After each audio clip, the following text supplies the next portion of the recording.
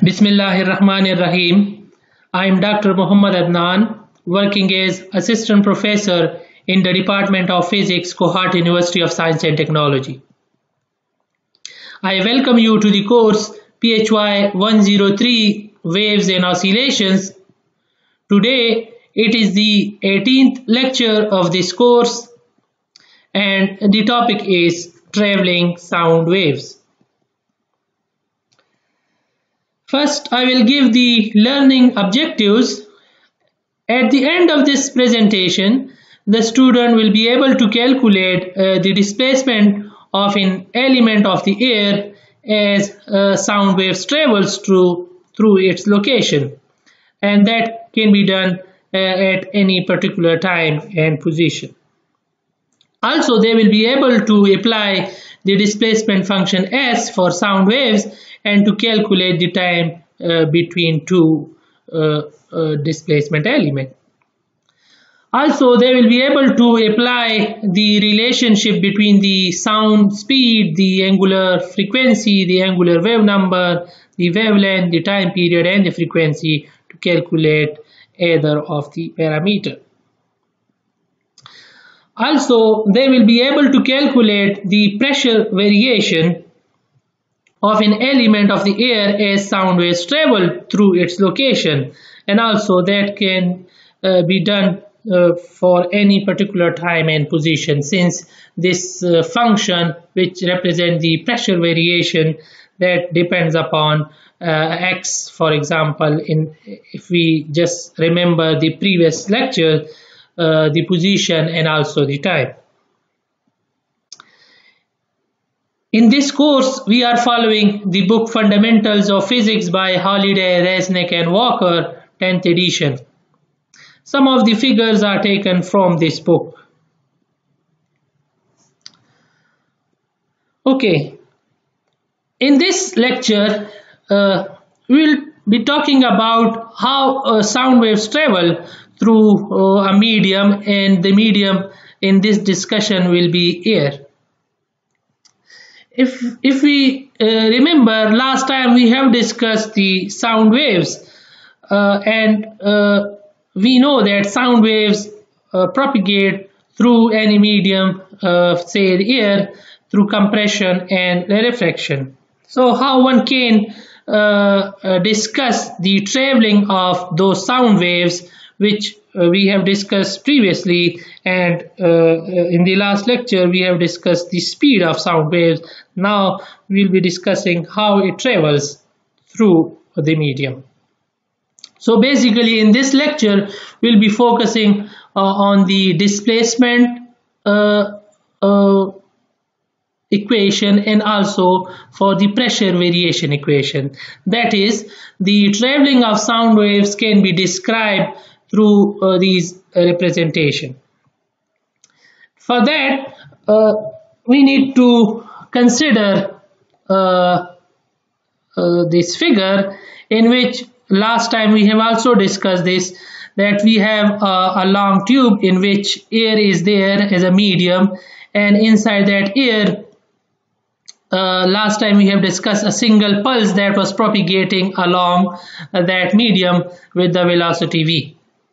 So now if we look uh, in this figure A, which is the A part, uh, this one, in this we have these denser and diluted region, the denser part known as the compression and uh, this one uh, uh, is known as the expansion. So we know that air uh, through that air the sound waves propagate through compression and rarefaction or we can say the expansion. Now, all the rest of the parameter that we have discussed in the wave part, when we were discussing the wave on a string, we have discussed the various properties such as lambda, the frequency, the wave number. All the parameters will be the same uh, except this uh, lambda. Now, this lambda for the longitudinal waves is the distance between two successive uh, compression or to uh, rarefaction. So this is that lambda uh, uh, and these are the uh, the representation how sound waves propagate through the medium air.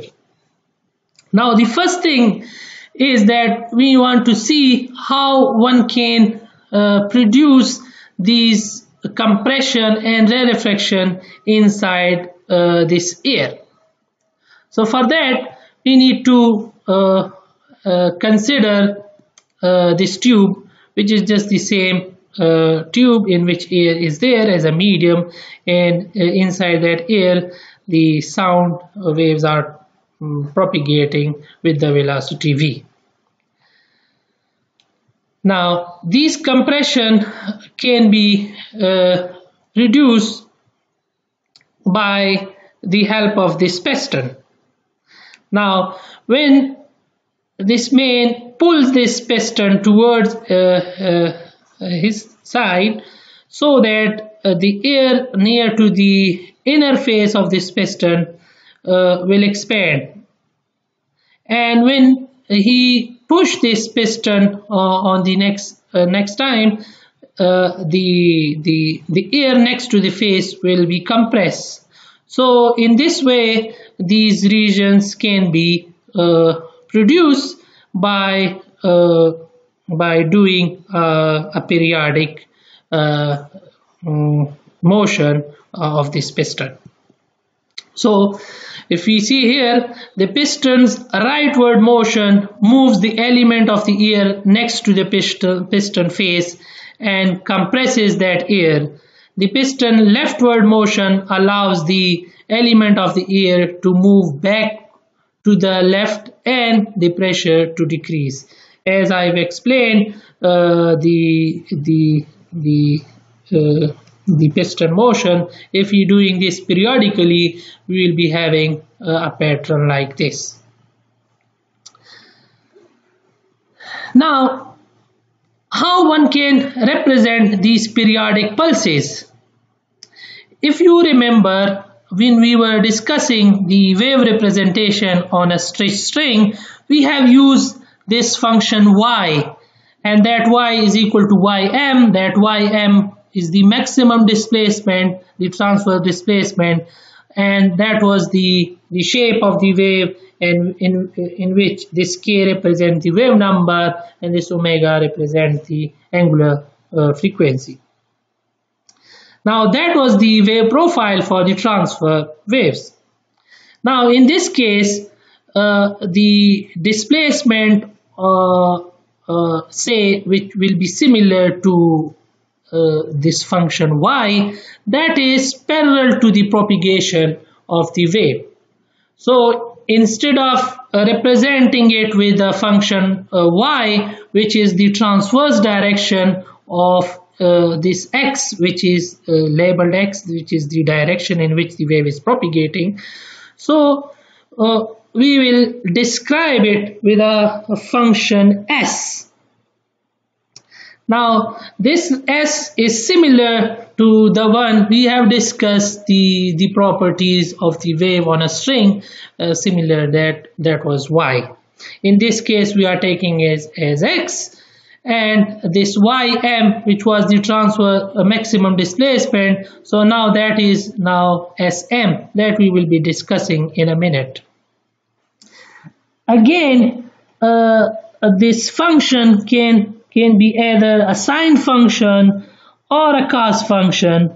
Uh, in this chapter, we are uh, be doing it the wave representation as a cos function. In the previous chapter with the transverse waves, it was with the sine uh, profile.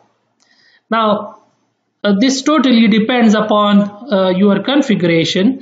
Uh, these are just the same thing, the sinusoidal periodic functions.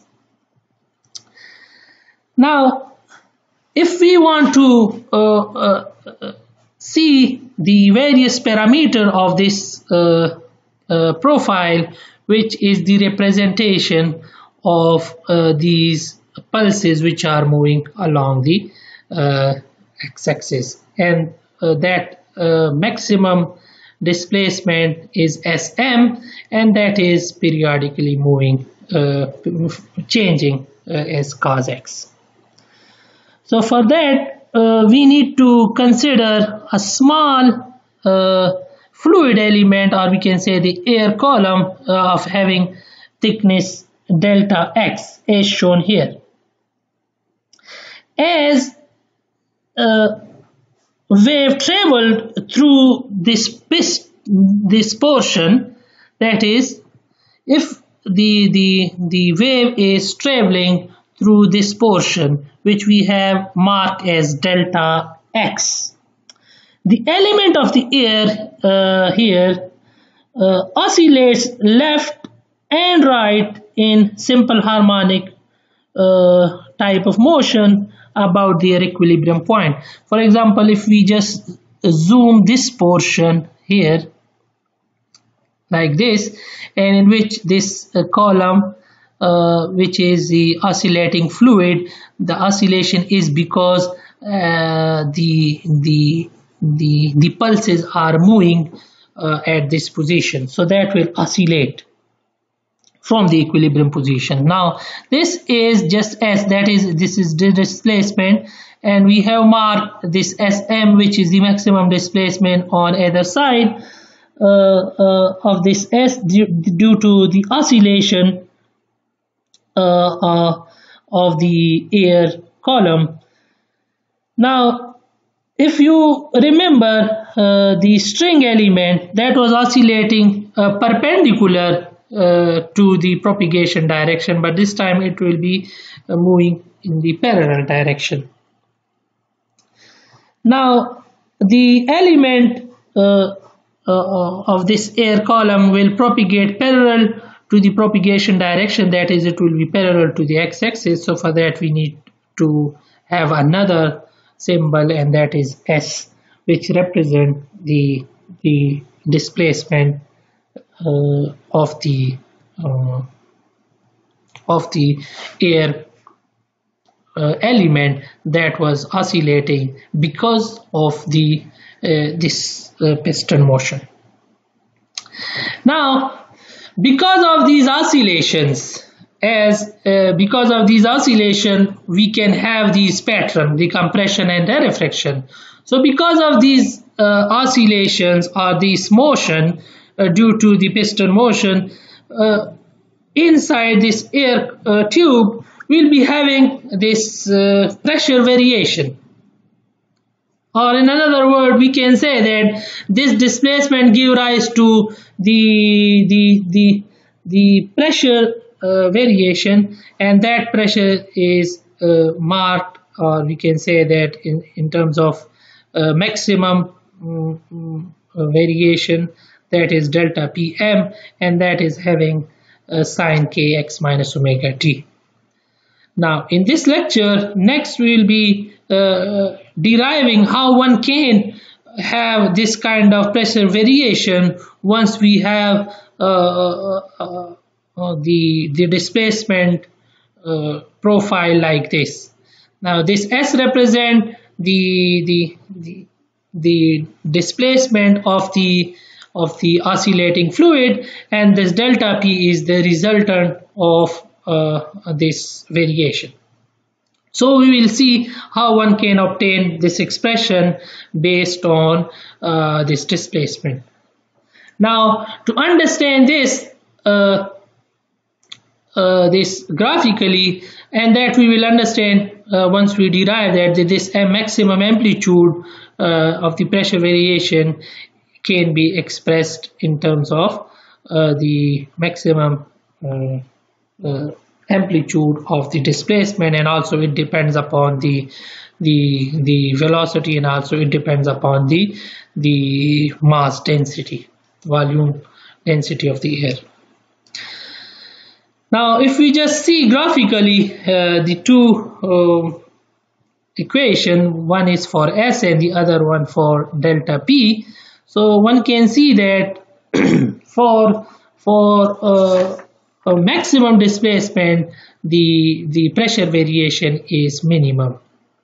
That is, once it is in, a, the maximum, uh, uh, uh, if we consider this column and having this maximum Sm, at that point the pressure variation will be uh, minimum and that is uh, the displacement and the pressure variation are pi by 2 or we can say 90 degree out of phase.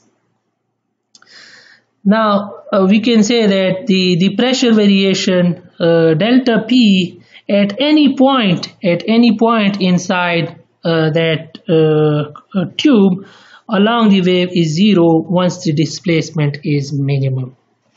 That is uh, if if we if you remember uh, the last lecture we have discussed that the delta p is small if we have an exp expanded volume. Now, next we want to see how one can uh, obtain this uh, pressure variation expression based on the the motion of this oscillating fluid element due to the motion of this piston uh, periodic motion. So for that uh, we need to consider again uh, this uh, oscillating fluid element of thickness delta x and cross-sectional area A. That is, uh, A shown here in oscillating element of air of cross-sectional area A and thickness delta x with its center displaced from its equilibrium position by S as it is shown here. So the pressure variation due to this displacement of the air uh, column that will be equal to minus b into the fractional change in the volume. If you remember the last lecture, we have uh, discussed the definition of this uh, bulk modulus where that was equal to the change in pressure divided by the fractional change in the volume and the negative sign uh, was there because the delta P and delta V are always opposite. That is, once the pressure is increased, the volume will decrease. So that's why there is a negative sign. So based on that definition of the bulk modulus, we can write the pressure variation due to the motion of this oscillating fluid uh, through a distance s is given by this. Now once we understand this thing, the next we will be just putting all the values inside this equation. So the first one is this V which is the volume of this oscillating uh, uh, fluid element. Fluid element means uh, the fluid in this case is air. So that the volume is the cross-sectional area times the thickness uh, delta x. So that will be the volume. Now the change in volume, why there is a change in volume? Because it it is expanded because it is displaced by a distance s. So that there is a change in volume and that volume change is equal to the cross sectional area a times the variation in s.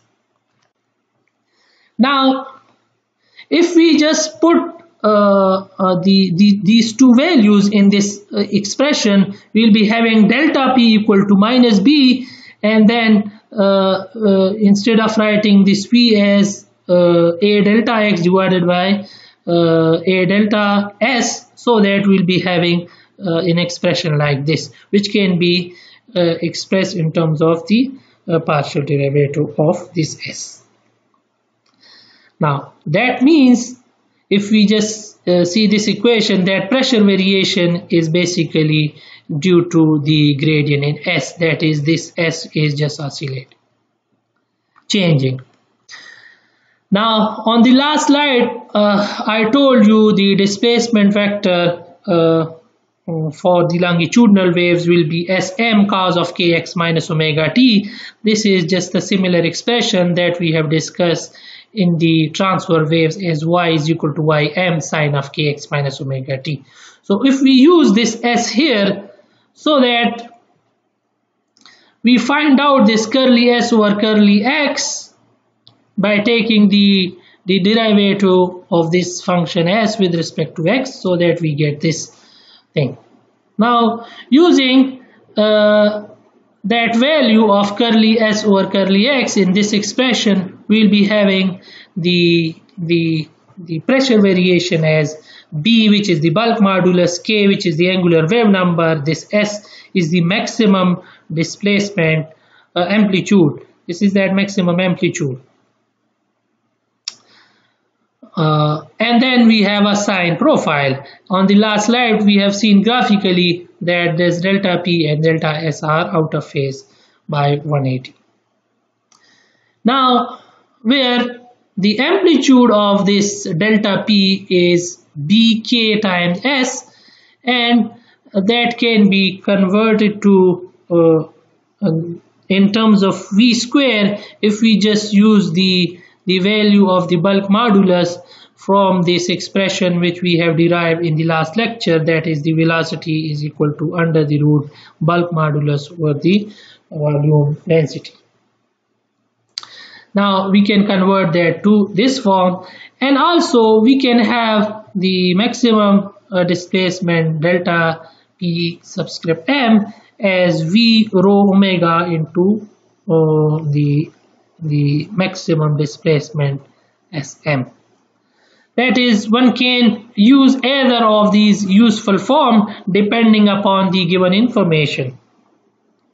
The important thing is that we can convert this uh, to this equation if we just use omega the velocity uh, or we can say the wave speed is equal to omega over k. So if we just eliminate k from here so that this velocity square will be now v if we write omega uh, instead of the wave number k.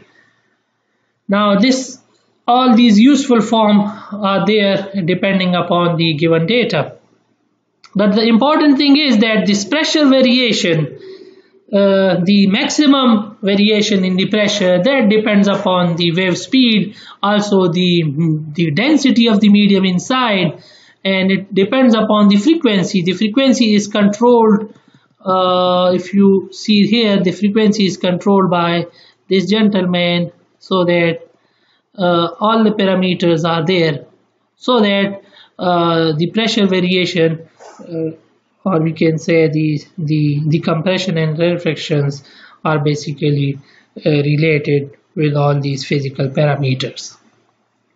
So with this now we will be able to uh, have some uh, some solution of the problem. So the first one is that uh, sample problem 17.1 and uh, taken from your course book in which the statement is the maximum pressure amplitude delta P subscript M that a human uh, here uh, can tolerate in loud sound is about uh, 28 Pascal. Now this is a small uh, pressure compared to the atmospheric pressure. What is the dis displacement amplitude S subscript m for such a sound in air of the air density uh, given as 1.2 kg per meter cube at a frequency of 1000 hertz and a speed of 343 meter per second. Basically we need to find out this uh, displacement. Now that displacement is basically the displacement of the air molecule from the equilibrium position so if you remember that is the same uh, S that we have discussed on that tube in which uh, we have considered a small uh, air column that was oscillating with maximum amplitude Sm. So that will be a small m uh, displacement.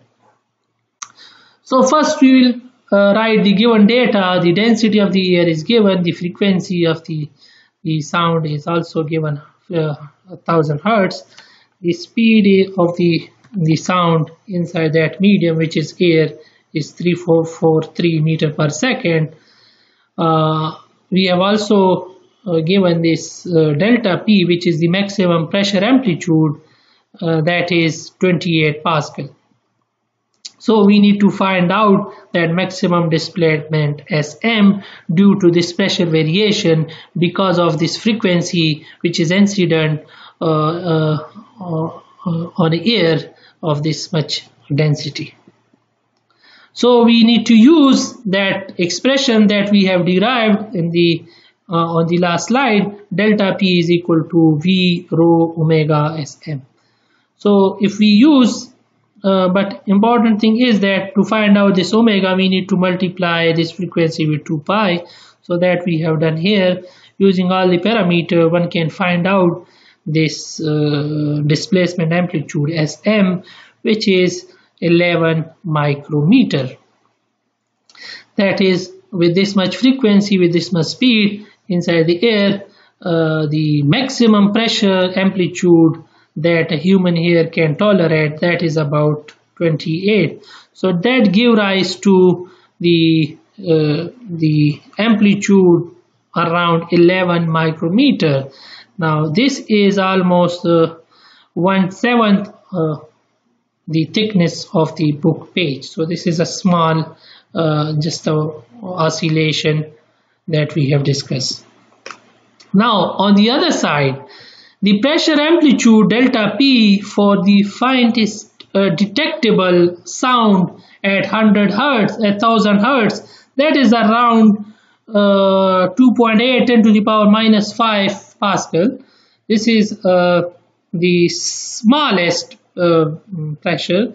So if we use with this pressure instead of the 28 PA, if we use this uh, this this thing, so that will uh, give us uh, the sm as 1.110 to the power minus 11 or we can say that uh, with that much sound the amplitude of the of the the oscillating air um, air molecules will be around 11 picometer which is about one tenth of the radius of a typical atom so with this we can conclude that the ear is indeed a sensitive detector of the sound waves because it can detect uh, almost the, the smallest uh, vibration.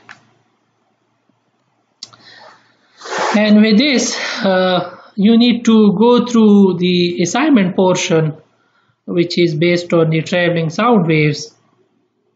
Now this this uh, traveling sound waves is given in the module 17.2 and basically there are uh, uh, six problems from 9 to 15 you need to solve those problems. And with this I thank you for your time